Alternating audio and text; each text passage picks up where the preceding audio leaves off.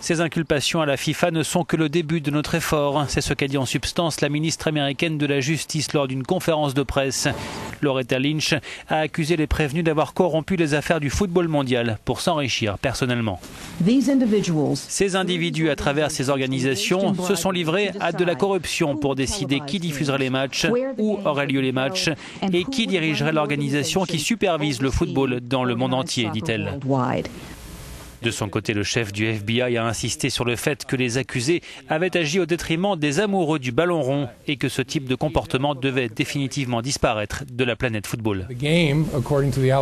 Le jeu, sur la base de ces allégations, a été détourné, souligne James Comey.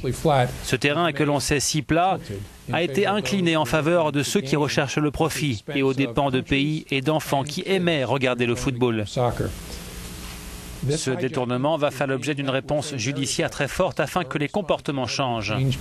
Comme l'a dit le procureur général, cette enquête qui a été longue et laborieuse n'est pas terminée. Nous allons continuer notre travail jusqu'à ce que toute la corruption ait été découverte. Un message est envoyé au monde entier pour dire que ces comportements ne seront plus tolérés. L'enquête va donc se poursuivre et elle pourrait révéler de nombreuses surprises.